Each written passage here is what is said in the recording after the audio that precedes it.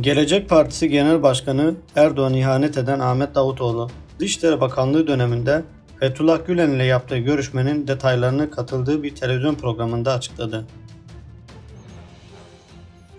Programda Davutoğlu'na Amerika Birleşik Devletleri'nin ziyaretinde Pensilvanya'ya gitmesi hatırlatılarak Pensilvanya'ya devletin bilgisi dahilinde gitmek ne demek diye soruldu. Devlette temizlik yapılması lazım dedim. Davutoğlu'na ayrıca Fethullah Gülen ile Pensilvanya'daki görüşmenin detayları hakkında Mehmet Ağar gibi isimler görevlendirmek açısından doğru isimler mi şeklinde soru da yöneltildi. Davutoğlu eski İçişleri Bakanı Mehmet Ağar sorusuna ilişkin. Mehmet Ağar doğru mu değil mi? O görevi verecek olan kişinin takdiridir. Kararı kimin verdiğini bilmediğim için doğru ve yanlış demem doğru olmaz yanıtını verdi. Fethullah Gülen ile Pensilvanya'da bir kere karşılaştığını söyleyen Davutoğlu, Türkiye'nin özellikle dış politikası konusunda uluslararası alanda Türkiye'yi zora sokacak yayınlar yapmaya başladılar. MİT tırlarına yapılanlar benim görüşmemden 4 ay sonra olmuştur.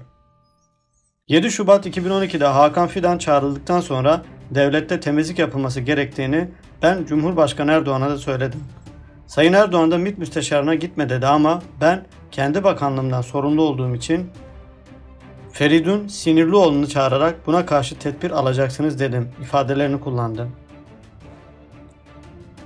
FETÖ'yü Türkiye'ye gelmeye davet ettiğini söyleyen Davutoğlu şöyle devam etti. Birleşmiş Milletler'e giderken Erdoğan ile FETÖ'nün yurt dışındaki propagandalarını ve Türkiye'de bir devlet haline dönüşmelerini nasıl engelleyeceğimizi değerlendirdik.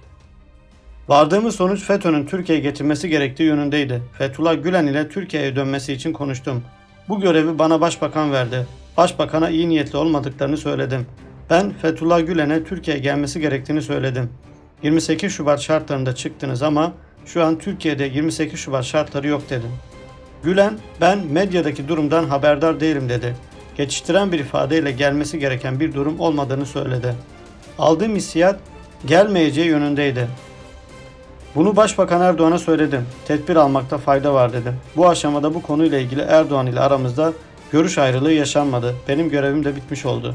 Erdoğan benim kendisinin talimatı dahilinde gittiğimi söylemişti.